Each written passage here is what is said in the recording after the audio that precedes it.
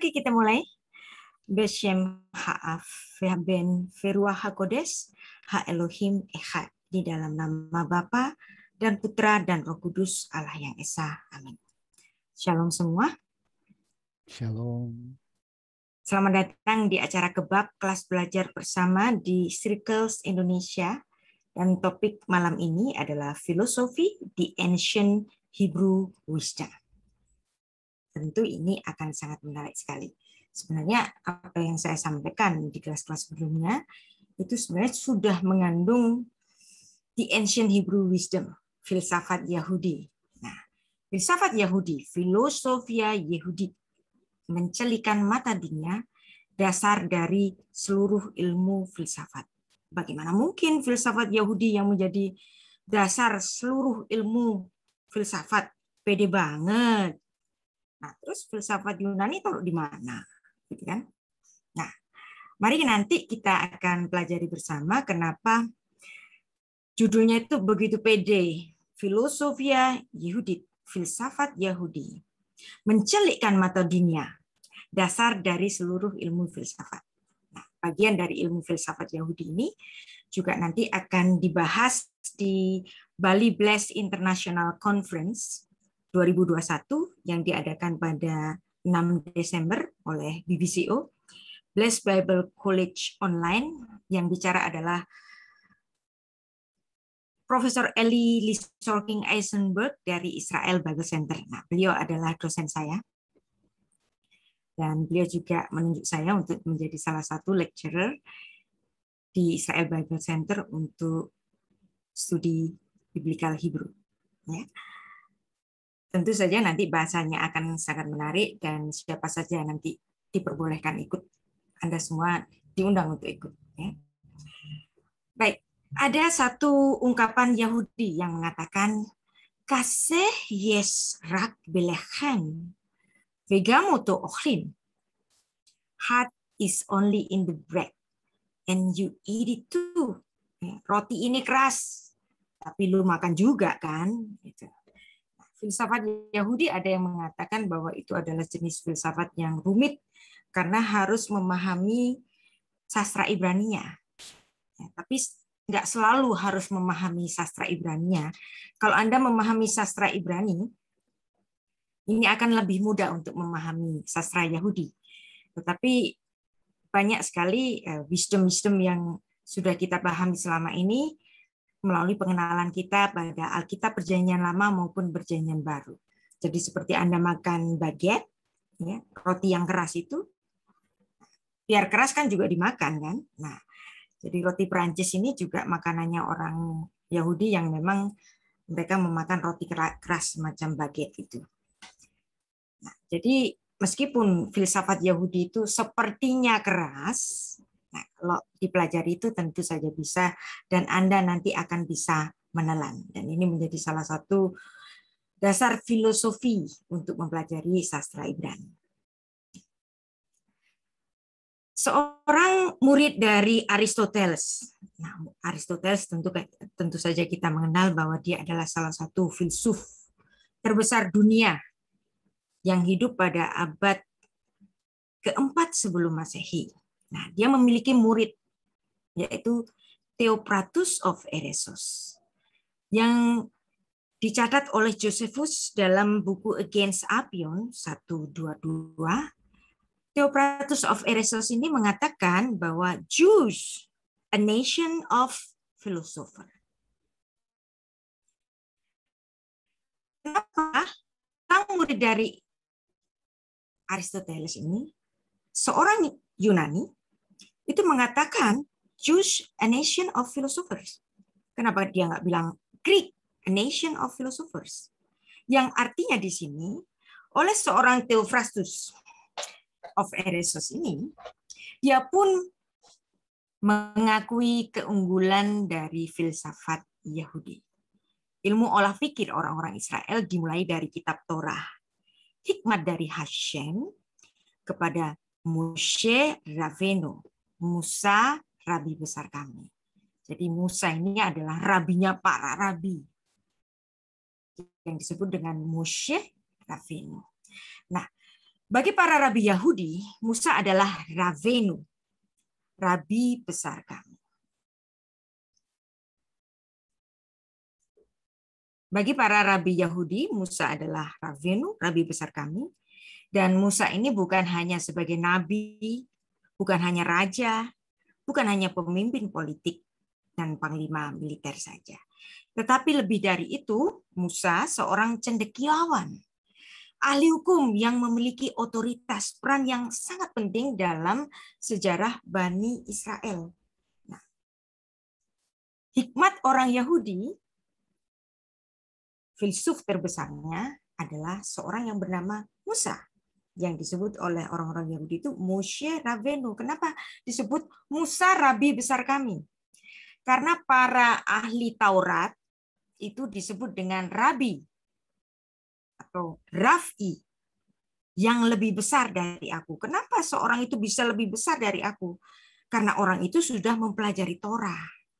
Maka dia disebut rabi yang lebih besar dari aku, rabi. Nah, kemudian bagaimana dengan orang yang menulis kitab Torah itu sendiri?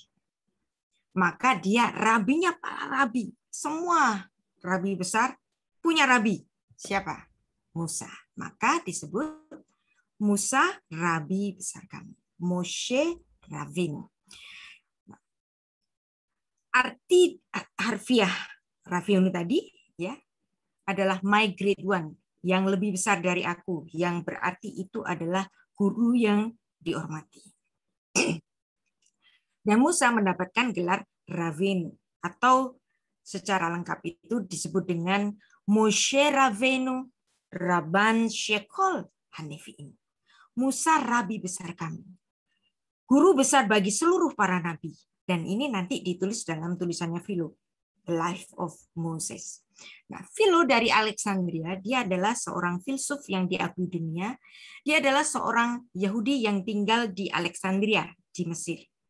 Ia memandang sosok Musa adalah seorang filsuf terbesar sepanjang zaman dan sosok Musa ini digambarkan dalam tulisannya yang berjudul On the Life of Moses.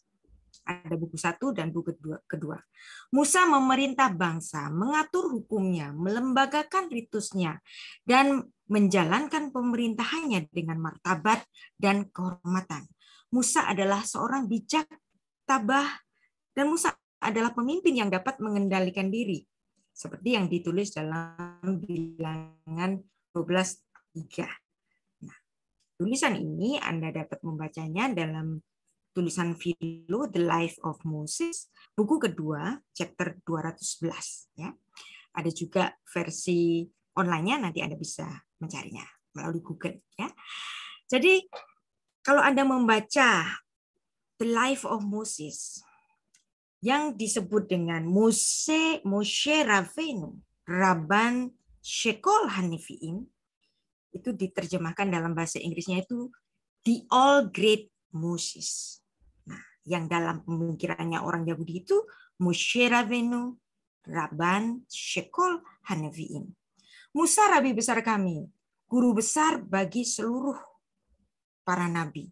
Maka tidak heran kalau Philo ini memandang bahwa Musa adalah filsuf terbesar sepanjang zaman. Kalau Philo berani berkata demikian, maka tentu saja dalam benaknya Philo ini Musa lebih besar dari Plato. Musa lebih besar dari Aristoteles dan siapa pun. Mungkin yang dimungkinkan yang terbesar kala itu, ya. Seperti yang dikatakan oleh Albert Einstein, seorang ilmuwan Yahudi juga, dia mengatakan bahwa science without religion is lame. Religion without science is blind. Nah, maka hikmat kita tidak akan lepas dari kitab suci yang kita baca. Maka kitab suci, Alkitab kita itu bukan sekedar buku iman. Kitab suci adalah juga buku filsafat. Nah, ada banyak pertentangan, perdebatan yang mengatakan mana yang lebih dulu ada, ilmu teologi ataukah ilmu filsafat. Kalau saya pribadi ya, Mungkin Anda nggak sama juga nggak apa-apa. Namanya juga pendapat. Kalau saya berpendapat, ilmu filsafat itu ada lebih dulu daripada ilmu teologi. Nah, kok bisa begitu? Nah, sekarang kapan sih filsafat itu ada? Sejak kapan? Dan kapan ilmu teologi itu baru ada? Kenapa saya mengatakan bahwa filsafat itu lebih dulu ada daripada ilmu teologi? Karena Tuhan bicara kepada Adam. Tuhan bicara kepada Nuh. Tuhan bicara kepada Abraham, Yakub, dan bapak-bapak leluhur Israel jauh sebelum kitab Torah itu ditulis. Ya. Maka tentu saja filsafat lebih dahulu ada karena kitab Tauratnya baru belakangan ada. Jadi dengan dasar ini saya mengatakan bahwa ilmu tentang ilmu berpikir itu tentu saja lebih dahulu ada. Sejak kapan? Ya sejak manusia pertama, yaitu ada. Ya. Seperti yang ditulis dalam Bereshit Rabah, ini adalah buku Midras, Bereshit Rabah 27 ayat 1, dan bisa dibandingkan dengan tulisan dari seorang filsuf yang lebih tua dari Thales, yaitu siapa? Raja Salomo yang hidup abad ke-9 sebelum Masehi. Dia menuliskan demikian. Hashem behokma yasat arets. Tuhan itu dengan hikmatnya meletakkan dasar bumi. Tuhan dengan filsafatnya meletakkan dasar bumi. Maka ini juga menjadi suatu dasar bahwa ilmu berpikir, filsafat, itu tentu saja lebih dahulu daripada ilmu teologi, bukan? Karena Tuhanlah yang meletakkan dasar bumi ini dengan hikmatnya. Sekarang kita kembali memahami bahwa hikmat adalah suatu portable treasure. Hikmat adalah harta dari manusia yang portable, anda boleh punya tanah berapa ratus hektar, berapa ribu hektar Anda punya. Tapi harta itu nggak portable. Anda bisa pergi ke mana saja, dan harta Anda tertinggal di rumah. Harta Anda tertinggal di bank.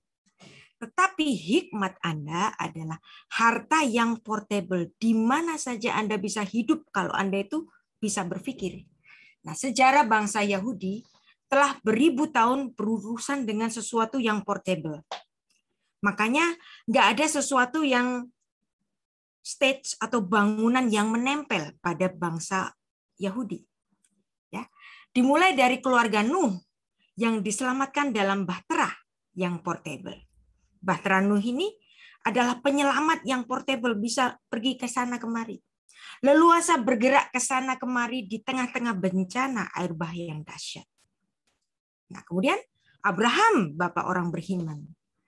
Dia juga leluhur Israel lainnya yang tidak tinggal di rumah bangunan tertentu, tapi Abraham, Isa, Yakub hidup di perkemahan dan itu sesuatu yang portable. Demikian pula pada zaman Musa. Tabernakel yang kudus itu pun sesuatu yang portable, yang gampang bergerak dan berpindah ya. Jadi Anda bisa mengenali misalnya bangsa Mesir dikenal dengan apanya? Dikenal dengan piramid, ya. Bangsa-bangsa zaman Babilonia mungkin dikenal dengan bangunan-bangunan segurat mereka ataupun yang lain-lain. Misalnya eh, orang di Bali terkenal dengan bangunan puranya misalnya Orang Prancis terkenal dengan Menara Eiffel, dan seterusnya. Tapi apa yang jadi tetenger bagi bangsa Yahudi? Nggak ada. Yang menjadi tetenger bagi bangsa Yahudi itu apa? Hikmat. Hikmat yang ada di Torah itu.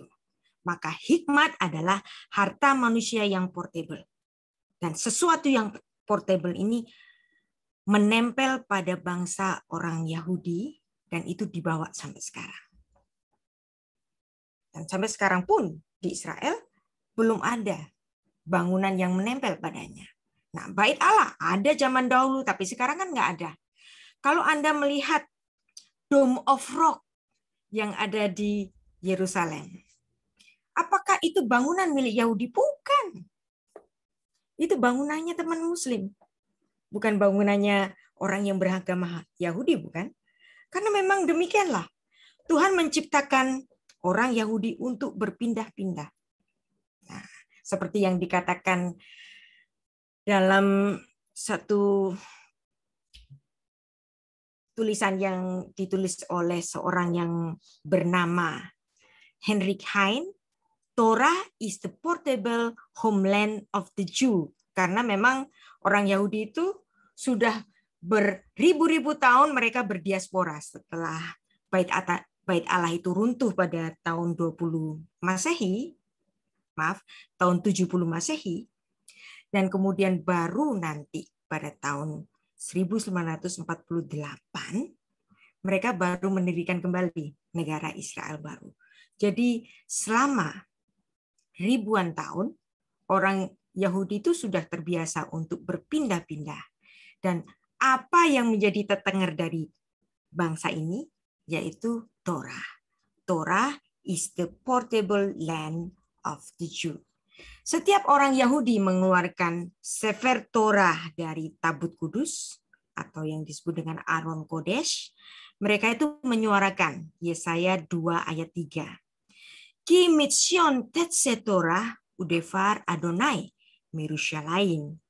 Sebab hukum Torah keluar dari Sion dan firman Tuhan dari Yerusalem. Kalau Torah itu keluar dan hukum Taurat itu keluar dari Sion, firman Tuhan itu yang keluar dari Yerusalem, artinya sedianya Taurat itu memang diciptakan untuk berpindah-pindah. Maka disebut Torah is the portable land of the Jew. Ayat ini ya, Yesaya 2 ayat 3 ini diucapkan di setiap Beit Knesset di seluruh dunia pada saat mereka membaca kitab Torah. Memang Taurat itu keluar dari Sion dan melakukan perjalanan ke seluruh dunia bergerak terus hingga hari ini. Ya, Torah is the portable land of the Jew ditulis oleh seorang filsuf dan seorang penyair Yahudi Jerman yang hidup sekitar tahun 1797 sampai 1856 yang menyatakan Torah is the portable land of the Jew. Bait suci sudah dihancurkan, bangsa Yahudi berdiaspora, tetapi Torah tetap tidak bisa dihancurkan. Oleh karena itu, Hein juga menyatakan, we are the people of the book yang mencapai keabadian. Seorang filsuf Yahudi yang juga seorang Holocaust survivor, seorang yang bernama George Steiner, yang meninggal tahun 2020, menulis sebuah jurnal ilmiah yang judulnya Our Homeland, the Text. Jadi our homeland itu bukan tanah suci, karena mungkin saja satu saat orang Yahudi itu bisa juga berdiaspora lagi, mungkin, we don't know, ya. Tetapi mereka punya portable land, yaitu apa? Torah. Nah, bangsa Yahudi karena diikat oleh Torah itu, maka bangsa Yahudi tidak pernah kehilangan identitasnya. Dan ini mereka pertahankan sesuai yang ditulis dalam Yosua 1 ayat 8, janganlah engkau lupa memperkatakan kitab Torah ini, tapi renungkanlah itu siang dan malam. Orang-orang Yahudi sebagai bangsa pilihan tidak hidup dari gedung ke gedung dengan bangunan yang megah, tetapi mereka hidup dari teks dan intertekstualitas tadi. Hampir semua literatur Yahudi adalah komentari dari kitab-kitab Yahudi sebelumnya yang berbasis pada Torah. Dari sini eksistensi bangsa Yahudi menjadi lestari. Nah, jadi karena penyampaian sejarah yang berulang, maka kelestarian orang-orang Yahudi ini tetap ada sampai sekarang walaupun mereka tuh terlempar dari tanahnya sendiri selama ribuan tahun. Nah, lembaga pendidikan Israel itu disebut dengan Haskala. Nah, Haskala. Nah, Anda kalau mempelajari nomina Ibrani, awalan H di sini, awalan H, ya, itu artinya definite artikel. Artikel berarti the. Nah, kalau the-nya ini dibuang, Anda lihat di sini, haskala, hanya itu jadi apa? Hanya dibuang, kemudian jadi apa? Syakala. Kira-kira kata syakala ini dekat dengan kata apa dalam bahasa Indonesia? Ada yang tahu? Sekolah, ya. Haskala, sekolah. Wow. Apakah bahasa Indonesia itu mengambil dari bahasa Ibrani? Mungkin saja. Nah, nanti kita akan belajar mengenai apa yang dipelajari atau apa yang diteliti oleh seorang linguis Yahudi yang bernama Isaac, Dr. Isaac Mosesen. Nah, Haskalah atau Lembaga Pendidikan Israel itu telah eksis sejak tahun 1440 sebelum Masehi. Yang artinya ini sudah eksis pada abad ke-15 sebelum Masehi. Dan ini tentu saja lebih tua dari filsafat Yunani. Pelembagaan pendidikan Yahudi berdasarkan pada mandat Shema yang dicanangkan oleh bangsa Israel dalam kepemimpinan Musa dan dilaksanakan terus-menerus secara turun-temurun dari generasi ke generasi.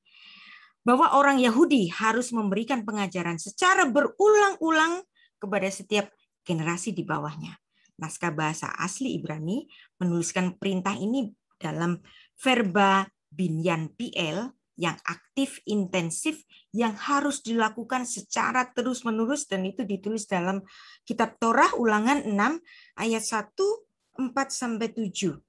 Nah, saya mengutip dari penelitian Dr. Isaac Mosesen, dia adalah seorang Yahudi, seorang linguis, yang dia mengatakan, Kol Haderechim derek Babel. All roads led from Babel. Nah, tadi saya sudah memberikan satu clue-nya sedikit bahwa haskala dekat dengan kata skala yang mirip dengan kata dalam bahasa Indonesia sekolah. Dan menurut penelitian dari seorang linguis, Dr. Isaac Mosesen, dia mengatakan bahwa seluruh bahasa di dunia ini berasal dari bahasa idenik.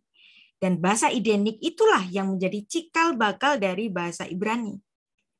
Ya, Kol haderechim, derek Bavel. Nah, kapan-kapan kita akan mempelajari apa yang diteliti oleh Dr. Isaac Mosesen ini.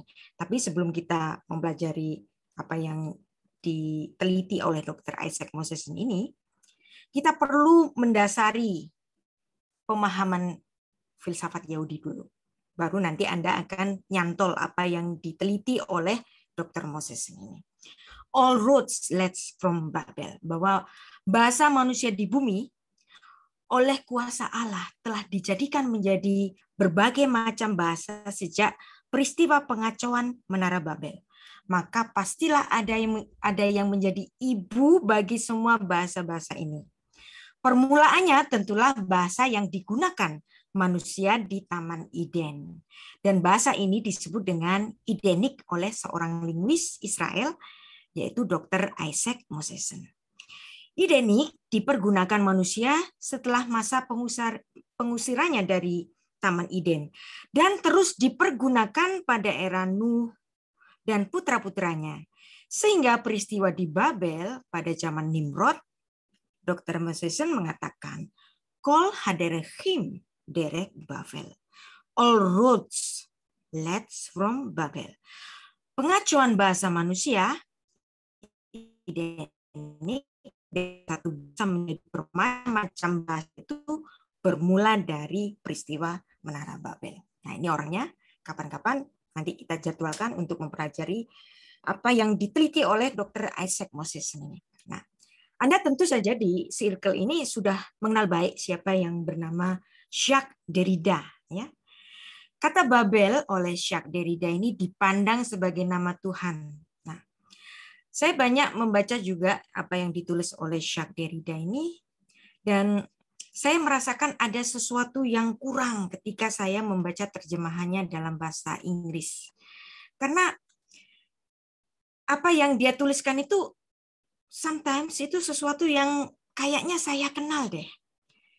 Tapi untuk memahami seorang filsuf yang bernama Jacques Derrida ini, saya terbantu banyak oleh penulis Yahudi yang bernama Gideon Ofrat yang membahas pemikiran Derrida ini melalui keyahudiannya karena memang Jacques Derrida ini adalah seorang Yahudi.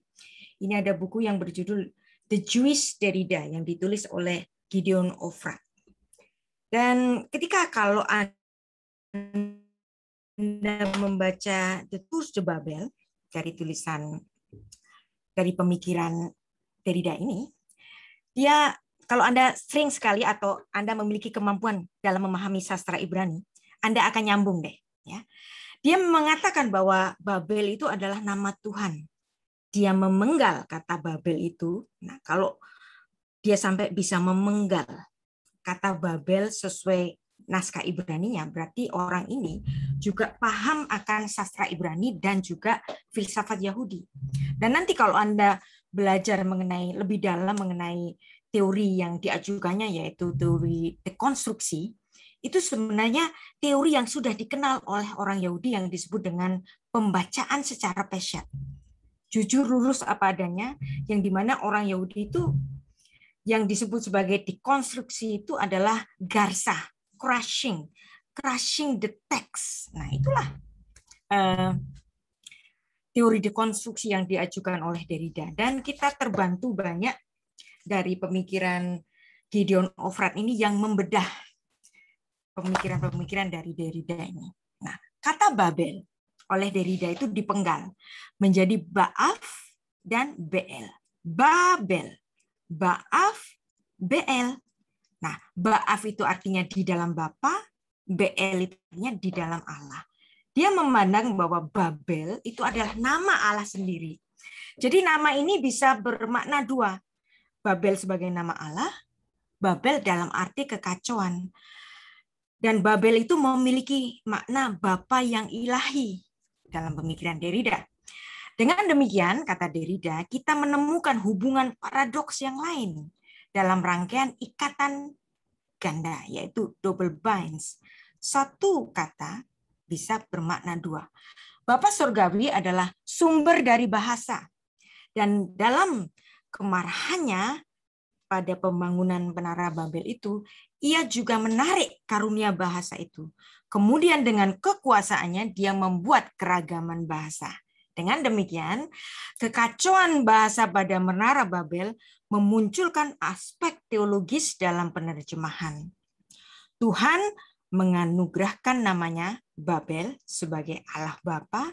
Secara bersamaan Babel adalah artinya ocehan dalam kekacauan bahasa.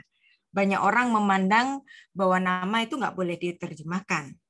Nah, menurut Derrida, mirip dengan pemikiran dari seorang filsuf Yahudi pada abad ke-12 yaitu Maimonides atau Rambam yang disebut dengan Rambam, Rabbi Moses bin Maimun, yang mengatakan dalam Guide to Me Perplex, Perplexed about the names of God. Nama Tuhan Babel tidak dapat diterjemahkan. Nah, nanti kita akan belajar banyak mengenai apa yang dipahami oleh Derrida itu yang sebenarnya itu dekat banget dengan filsafat Yahudi. Karena memang dia adalah seorang Yahudi. Walaupun dia tidak menyatakan dirinya sebagai seorang Judaism, tetapi dia dibesarkan dari kalangan orang Yahudi, maka pemikiran-pemikirannya itu nggak akan jauh-jauh amat dari filsafat Yahudi. Jadi school, sekolah, haskala dari bahasa Ibrani, haskala. Kata skill. Nah, haskala itu membentuk kata maskil. Nah, kata maskil itu membentuk kata dalam bahasa Inggris skill yang artinya akal budi atau kemampuan. Dan ini ada di dalam Alkitab dalam Mazmur 42 ayat 1. Mazmur 47 ayat 7 sampai 8 dan ini banyak sekali kata maskil yang menjadi cikal bakal dari kata bahasa Inggris yaitu skill. Nah, kalau kita membandingkan ada kata haskala, maskil, sekolah, school. ternyata apa yang diteliti oleh Dr. Isaac Moseson bisa jadi benar. Dan apalagi dalam bahasa Yunani ternyata juga mengambil dasar Haskala ini, yaitu lembaga pendidikan Israel yang sudah didirikan oleh Musa 15 abad sebelum Masehi dan dari kata Haskala muncul kata Yunani skoli, sekolah. Wow, mana lebih dulu? Apa yang ditulis oleh Musa atau apa yang ditulis oleh para filsuf Yunani? Nah, bisa jadi apa yang diteliti oleh Dr. Moseson memang betul bahwa all roads leads from Babel. Ya, bahwa semuanya itu berasal dari Babel. Bahasa Idenik menjadi dasar dari bahasa Ibrani dan bahasa Ibrani menjadi ilmu ibu bagi seluruh bahasa di dunia ini. Ya. Jadi sekolah bahasa Indonesia berasal dari kata Ibrani haskala. Muncul pula sebelumnya yaitu kata dalam bahasa Yunani skole atau sekolah. Dan muncul kata school dan bahasa Indonesia sekolah. Ya. Jadi sekarang kita sudah memahami kalau saya tadi berpendapat bahwa ilmu filsafat mendahului ilmu teologi karena Hashem behokma yasat arets. Tuhan dengan hikmatnya Tuhan dengan filsafatnya meletakkan dasar bumi. Ya, kalau Anda nggak setuju nggak apa-apa. Dan ini ditulis dalam Bereshit Raba 27 ayat 1 atau dalam Amsal 3 ayat 19. Nah, kitab Torah yang dimulai dari kitab Kejadian yaitu menjadi kitab genealogi dari segala sesuatu kitab kejadian menulis segala apa yang ada di bumi ini. Segala isinya. Genealogi langit dan bumi dicatat dalam kitab kejadian. Genealogi monoteisme kapan? Ada di kejadian satu ayat satu bahwa hanya satu Allah yang menciptakan langit dan bumi. Pada mulanya Allah menciptakan langit dan bumi. Bereshit bara Elohim et hashamayim ve et haaretz. Nah, Kemudian ada genealogi air. Di mana itu? Di kejadian 1 ayat 1. Dan ini lebih tua dari Thales. Kemudian ada genealogi cakrawala, atmosfer bumi, genealogi tumbuhan, genealogi kalender, yang di mana pada hari keempat Tuhan menciptakan matahari dan bulan yang menjadi tanda-tanda bagi musim dan waktu. Jadi genealogi kalender ada di kitab kejadian. Genealogi binatang laut dan dan udara. Ada di kitab kejadian. Genealogi manusia. Ada di kitab kejadian, di kitab Torah. Bahkan di kitab mana pun nggak pernah ada. Hanya ada di Torah. Genealogi binatang di darat. Mulanya itu kapan? Di kitab kejadian. Genealogi nafas yang dihembuskan Allah. Ada di kitab kejadian. Genealogi nama ada memberikan nama-nama kepada seluruh binatang. Dan juga nama bagi istrinya dimulai dari kitab kejadian. Genealogi berkat beranak pinaklah dan bertambah banyaklah. Kitab kejadian. Genealogi pernikahan. Kejadian 2 ayat 20 laki-laki dan perempuan diciptakan ada di kitab kejadian. Genealogi keselamatan. Manusia jatuh di dalam dosa dan saat itu pula Tuhan berikan rencana keselamatannya. Diungkapkan di mana? Kitab kejadian juga. Genealogi, pakaian. Kapan? Kenapa manusia harus pakai pakaian? Karena dia sadar akan ketelanjangannya. Dia menyemat daun dari pohon ara, dan Tuhan tidak berkenan. Tuhan memberikan pakaian dari kulit binatang. Mulanya di mana? Kenapa manusia harus berpakaian? Karena dia merasa malu. Coba cari di kitab filsafat mana pun, di kitab suci mana pun yang menuliskan genealogi dari pakaian. Kenapa manusia harus berpakaian? Enggak pernah ada. Hanya di kitab Torah. Genealogi ibadah sakramental. yang di mana ada binatang yang tidak berdosa harus dibunuh sebagai tipologi dari pengampunan dosa. Hanya ada di kitab kejadian. Genealogi sumpah, genealogi kilul Hashem, genealogi bahasa, genealogi bangsa-bangsa pilihan, genealogi bangsa dan lahirnya bangsa pilihan hanya ada di kitab kejadian. Coba Anda cari di buku filsafat mana pun, di kitab suci agama mana pun kecuali Alkitab yang bicara mengenai kelahiran sebuah bangsa. Ada nggak sih? Coba Anda cari buku filsafat yang mana bicara mengenai kelahiran sebuah bangsa. Filsafat Yunani hebat, tentu saja. Saya mengakui itu. Tapi adakah filsuf Yunani yang mengatakan atau menulis tentang kelahiran sebuah bangsa yang dia bisa merunut dari mana dia berasal. Ada nggak? Nggak ada kecuali kitab Torah. Jadi ada banyak ketidakadilan kepada Alkitab. Alkitab hanya dianggap sebagai buku iman, maka dia di, tidak dianggap sebagai buku filsafat. Sesungguhnya buku filsafat terbesar adalah Alkitab itu sendiri. Coba Anda cari buku filsafat yang mana bicara mengenai genealogi. Nggak ada. Ya. Genealogi langit dan bumi. Genealogi. Cakrawala, genealogi nafas, genealogi pakaian, genealogi pernikahan. Ada nggak sih? Kenapa harus berpakaian? Buku filsafat yang mana bicara mengenai ini? Nggak ada. Kecuali kitab Torah. Jadi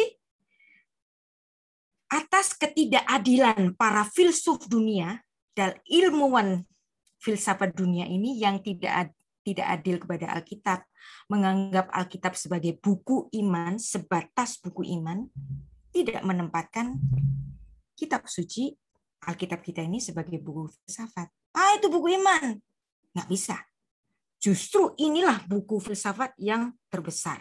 Nanti saya akan bicara banyak kalau waktunya kalau waktunya memungkinkan terhadap apa yang ditulis dalam kitab Torah itu. Kalau nanti waktunya nggak nggak cukup, nanti saya minta waktu lagi ke Mas Dimas untuk kita jadwalkan lagi untuk bicara mengenai filsafat Yahudi ya. Jadi kalau Anda membaca perjanjian baru, Matius 1 ayat 1, inilah silsilah Yesus Kristus, anak Daud, anak Abraham. Kenapa Matius begitu penting untuk menuliskan silsilah dari Yesus Kristus. Kenapa? Karena di mata orang Yahudi, silsilah itu sangat penting. Ayo, ada nggak sih siapa yang tahu bapaknya Plato itu siapa? Nenek moyangnya Plato itu siapa? Ditulis nggak namanya? Nggak ada. Ya. Terus nenek moyangnya Aristoteles itu siapa? Ditulis secara runut seperti Alkitab kita? Nggak ada. Ya. Kalau Tuhan Yesus kita, ya, sejak dia lahir itu dituliskan dari mana asalmu asalnya. Shefer Toledo Yeshua Hamasyah ben David ben Abraham. Jelas. Dia keturunan Daud, keturunan Abraham. Nah, kitab mana yang menulis tentang Abraham? Kitab Kejadian.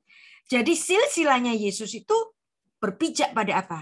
Kitab genealogi. Kitab kejadian sebagai kitab genealogi. Untuk itu penting sekali semua orang Kristen itu katam.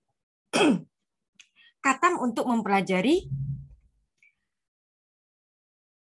Alkitab mulai dari sejak kitab kejadian.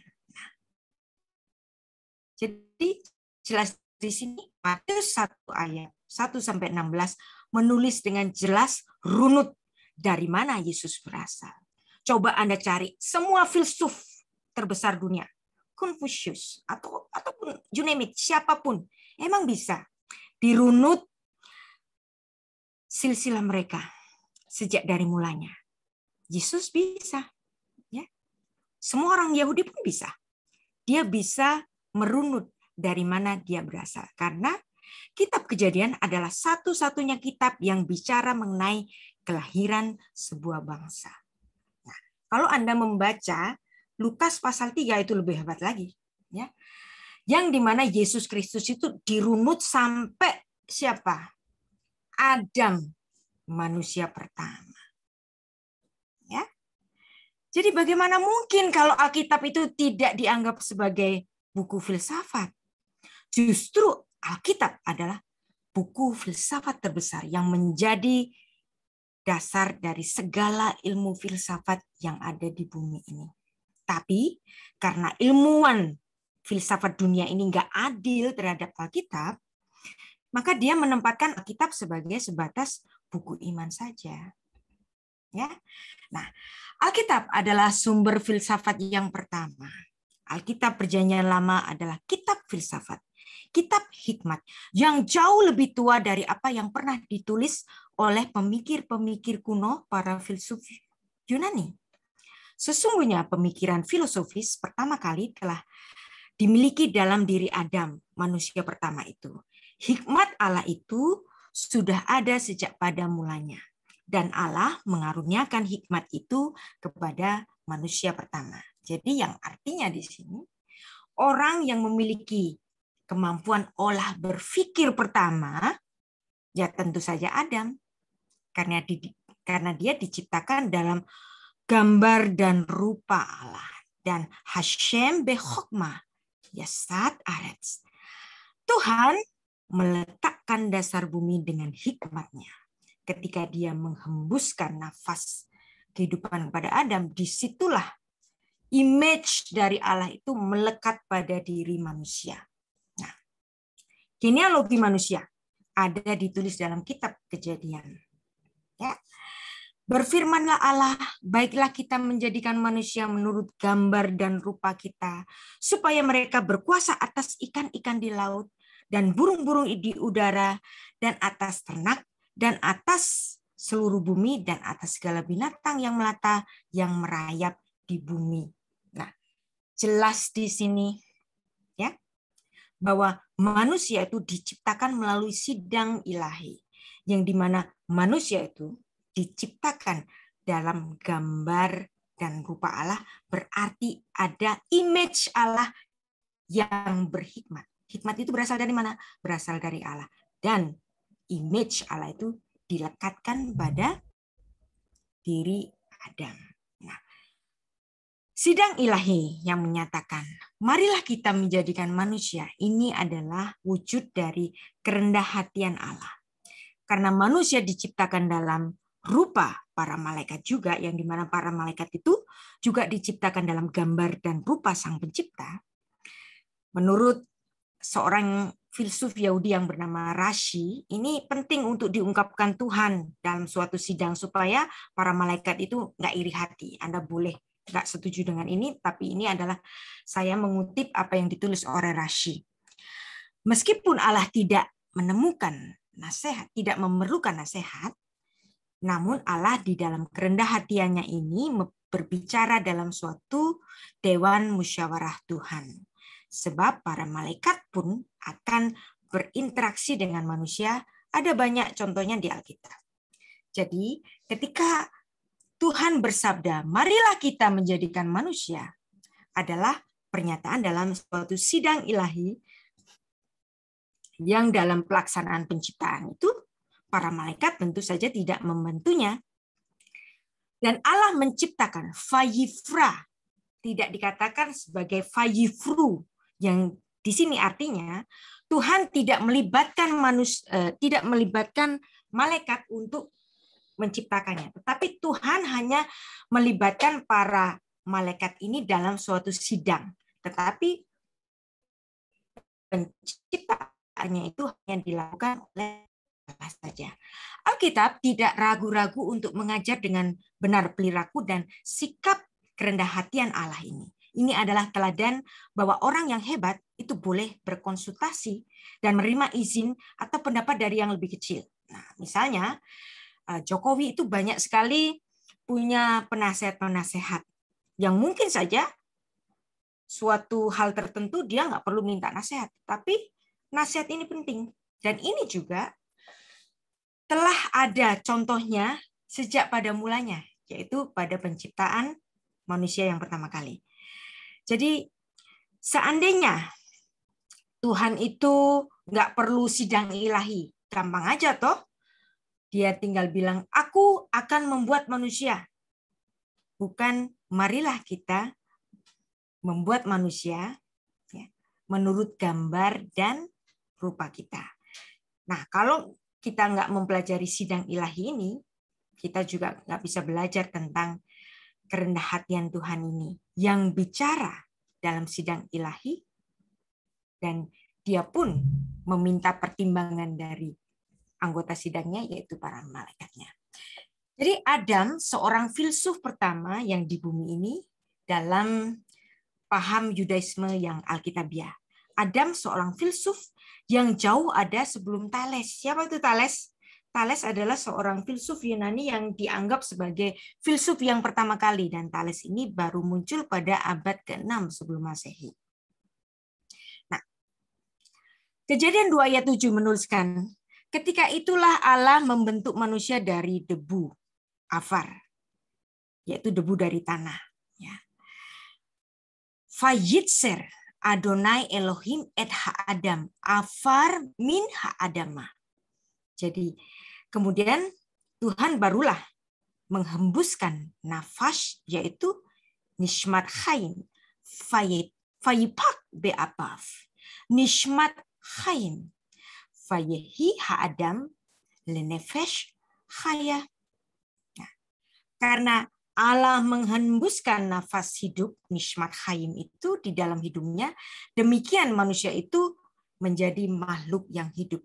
Ketika Allah menghembuskan nishmat Chaim ini, di situlah momen di mana Allah menaruh image-nya kepada Adam yang menjadi mandataris Allah. Dan selanjutnya Allah membuat taman di sebelah timur, di situlah ditempatkanlah manusia itu yang telah dibentuknya itu. Nah, Tuhan Allah mengambil manusia itu dan menempatkan dalam Taman Eden dan mengusahakan dan memelihara taman itu. Nah, kemudian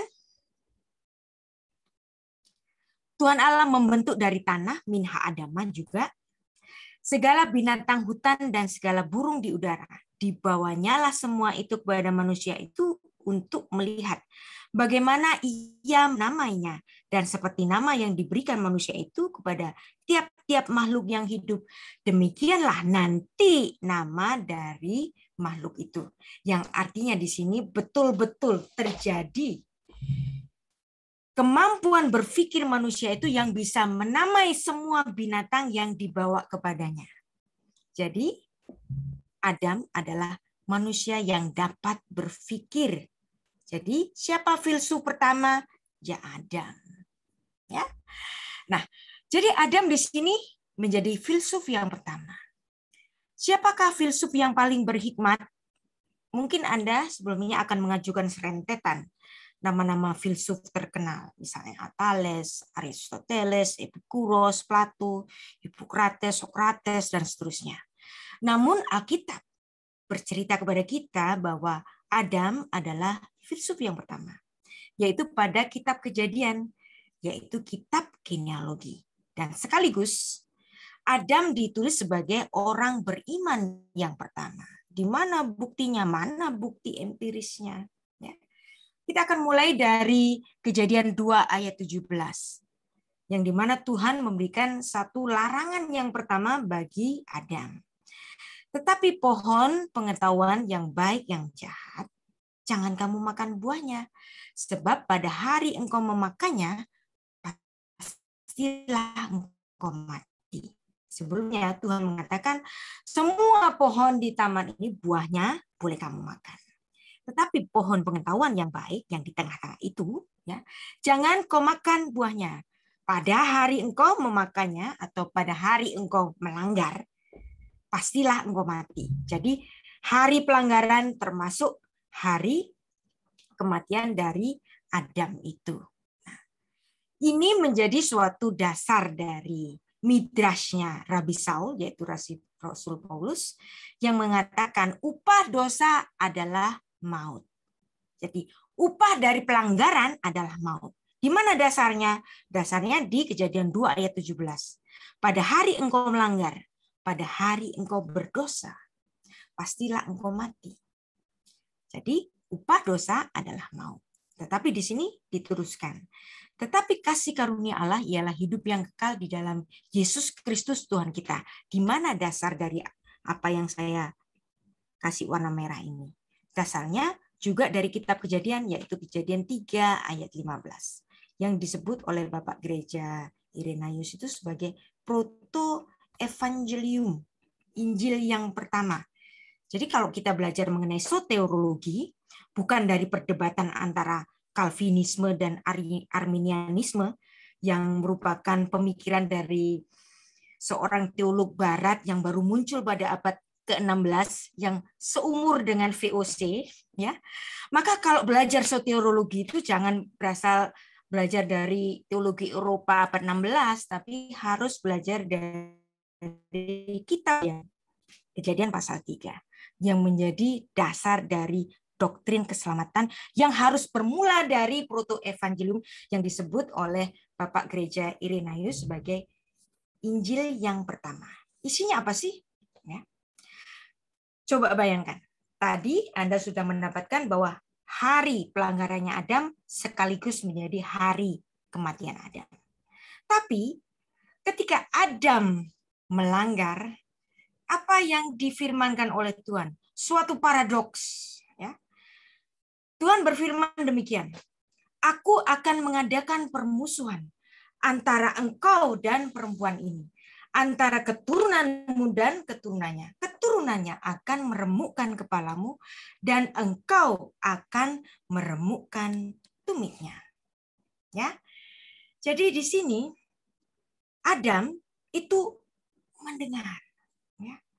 Dan dia mendengar dengan keheranan. Bagaimana mungkin Tuhan di hari kematianku dia berbicara mengenai keturunan dan keturunan itu melalui seorang perempuan.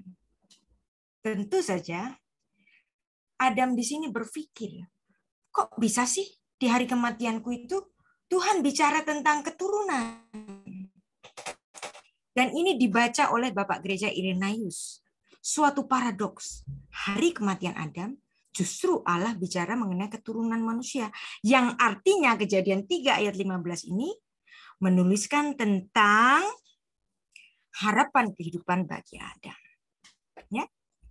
Tidak saya baca naskah Ibrani-nya, ini bukan kelas sastra Ibrani, ya, yang penting Anda tahu poin-poinnya.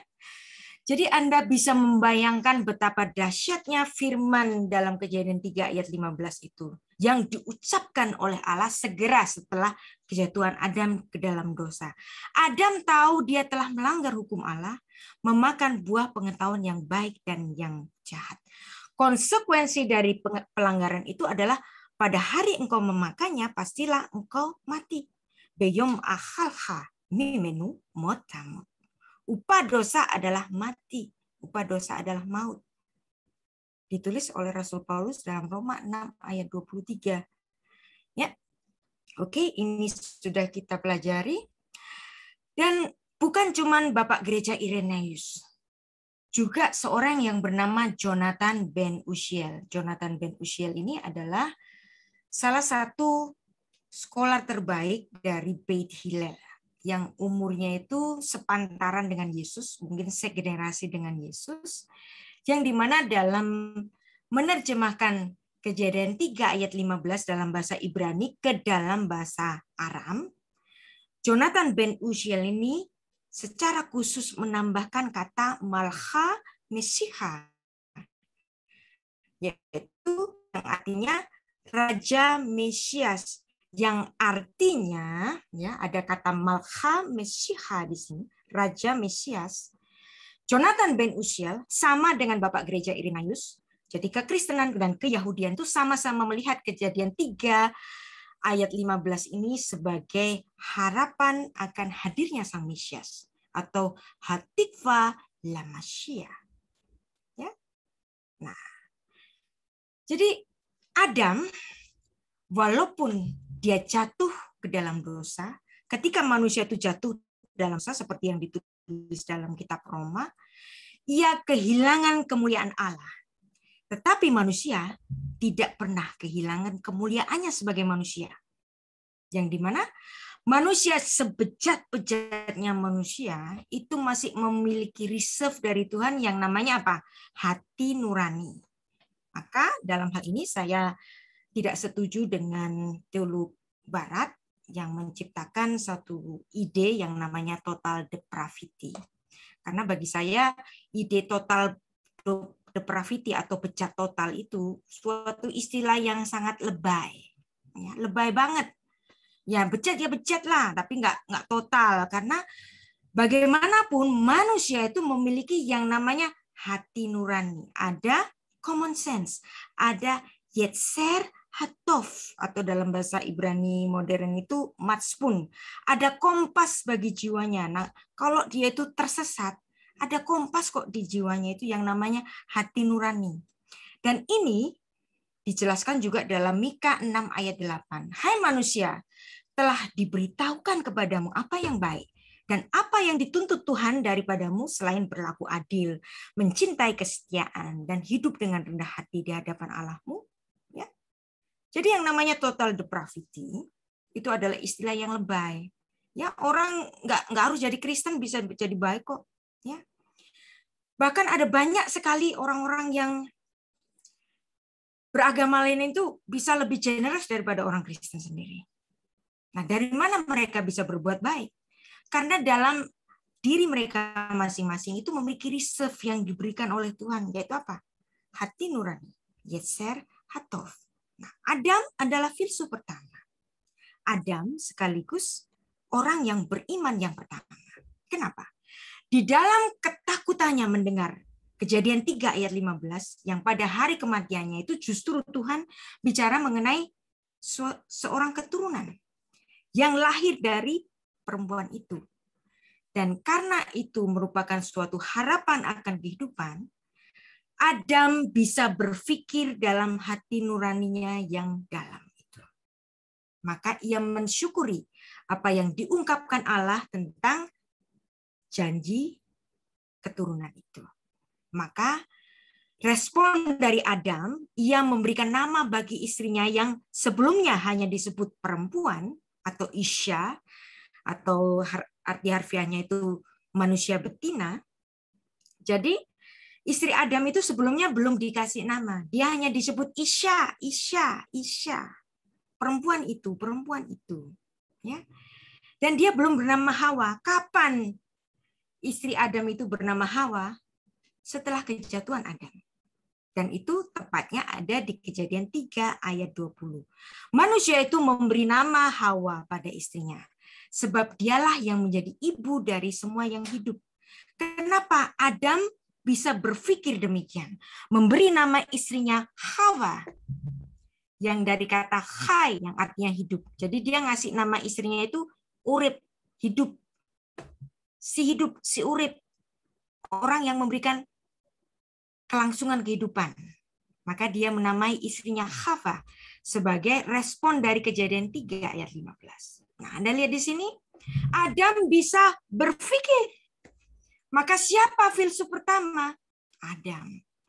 Adam meyakini apa yang dijanjikan Tuhan itu terjadi. Lahirnya keturunan yang memberikan harapan kehidupan. Yang artinya di sini Adam sekaligus orang yang beriman yang pertama.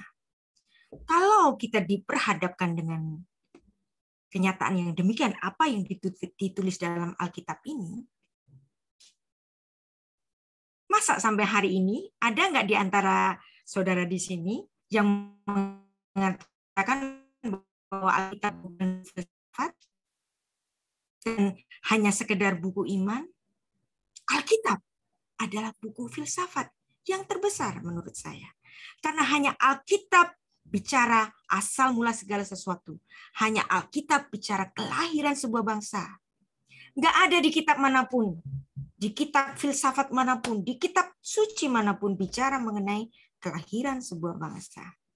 Nah, itulah sebabnya maka pengetahuan kita akan keimanan dan ilmu olah berpikir kita itu harus balance. Ya. Science without religion is lame. Religion without science is blind.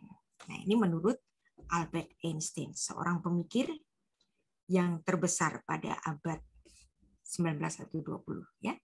Sukses adalah ketika seorang itu berhikmat dan hikmat itu harus diingini. Bagaimana cara mendapatkan hikmat? Carilah hikmat. Jadi ya, Amsal 4 ayat 7. Permulaan hikmat ialah peroleh hikmat, perolehlah hikmat. Dan segala yang kau peroleh itu perolehlah pengertian. Bagaimana cara memperoleh hikmat? Cari hikmat. Nah, jadi artinya hikmat itu bisa dipelajari. Nah, seperti juga yang ditulis dalam perjanjian baru Yakobus 1 ayat 5a, tetapi apabila di antara kamu ada yang kekurangan hikmat, hendaklah ia memintakannya kepada Allah yang memberikan kepada semua orang dengan murah hati. Jadi mau cari filsafat, mau belajar filsafat, minta kepada Tuhan. Ya, memang filsafat dunia ada banyak. Tetapi kalau Anda mencari filsafat yang sesungguhnya, sesungguhnya carilah filsafat yang dari Tuhan. Nah, kayaknya saya sudah satu jam berbicara dan mungkin nanti eh, materi saya yang setelah ini bisa kita bicarakan pada pertemuan mendatang ya. Dan nanti saya akan menunjukkan mengenai timeline dari ilmu filsafat itu ya. Saya serahkan kepada Pak Rio dan kita boleh bertanya jawab dan mungkin saya juga akan bisa memberikan sisa dari materi kita dari pertanyaan-pertanyaan nanti yang muncul. Ya Pak Rio